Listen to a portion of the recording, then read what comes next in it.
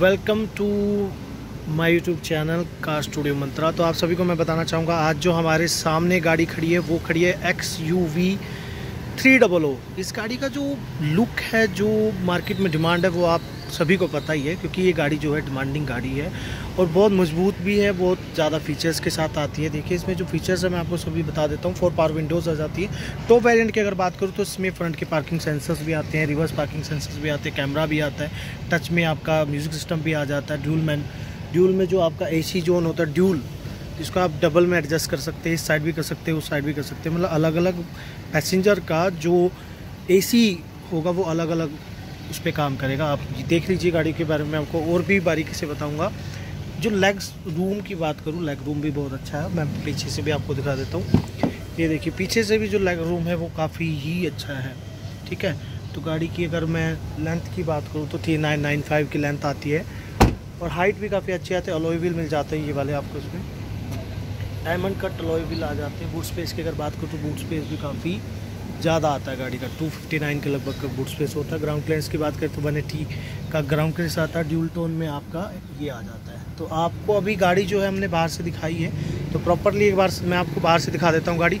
ये देखिए, गाड़ी का जो लुक है वो ऐसा है। सनरूप भी गाड़ी के अंदर आता है। सनरूप भी गाड़ी में आ जाता है। तो अभी लुक बाहर की मैंने दिखाई है। कंफर्ट और फीचर की मैं अंदर से बात करूँगा अभी। फीचर्स जो हैं गाड़ी के अंदर मैं आपको बता देता हूँ।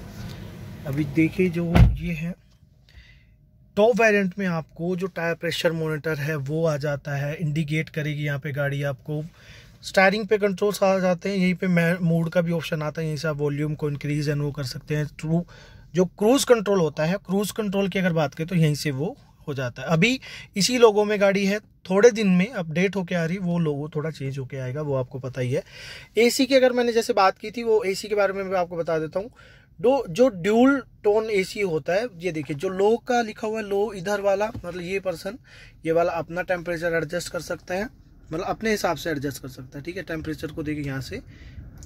ये जो को ड्राइवर होता है पैसेंजर सीट जो इधर वाली होती है, वो भी अपने हिसाब से कर सकते हैं, और हम मतलब जो ड्राइवर होता है, वो भी अपने हिसाब से कर सकता है, ठीक है? तो ये इसकी बात करूँ तो ये जो आता है, ये जो आएगा, ठीक है? ये आपका जो आता है, ये आता है सनरूफ के लिए। मतलब आपको सनरूफ अगर खोलना है तो सनूप भी बड़ा अच्छा आता है। इसमें वन टच सनरूफ है विद एंटी पिंच ठीक है? तो ये आपको मैनुअली ही खुद ही फोल्ड करना पड़ता है, ठीक है? तो ये आपका सनग्लास होल्डर इसमें आ जाएगा। टच में पैनल आ जाएगा। टच पैनल ये देखिए, जो आप इसको, टच पैनल ये है। इसमें काफ़ी चीज़ें इन्फॉर्मेशन भी आप इसमें आती है। गाड़ी की, गाड़ी में टायर प्रेशर की बात आ जाती है, वो भी इसमें आती है। सीट्स जो आएँगी, वो लेदर में आएँगी। टॉप वेरिएंट के अंदर, ठीक है? जो ड्यूल टोन जो आपका कैबिन होता है ड्यूल टोन शेड में आएगा ब्लैक एंड वाइट में तो बड़ा अग्रेसिव लगता है ये, और जो आपकी ऑटो हेडलैम्प्स आ जाते हैं इसमें ऑटो रेनिंग सेंसर्स आ जाते हैं फ्रंट पार्किंग सेंसर्स आ जाते हैं reverse parking sensors with camera आ जाता है। तो ये गाड़ी जो है, ये गाड़ी फाइव स्टार रेटिंग में आती है। महिंद्रा जो है, आप जानते हैं, महिंद्रा की जो गाड़ियाँ होती है, वो अपने आप में एक बहुत बड़ा ब्रांड होती है ना? तो महिंद्रा की जो गाड़ी है, वो फाइव स्टार रेटिंग में आती है। है ना फाइव स्टार रेटिंग जो होती है क्रैश टेस्ट की मैं बात कर रहा हूँ सेफ्टी की बात कर रहा हूँ। अगर आपको अपनी फैमिली के लिए सेफ्टी चाहिए तो भाई इससे अच्छी गाड़ी कोई नहीं होगी मेरे हिसाब से। क्योंकि ये जो गाड़ी है, इसमें सेफ्टी की अगर बात करूँ तो फाइव स्टार रेटिंग आती है भाई। किसी और वेरिएंट में बिल्कुल भी नहीं पाएगी।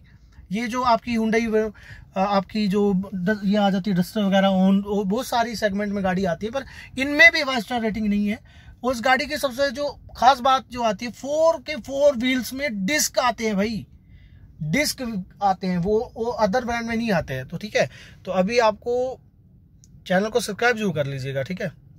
तो thank you I love you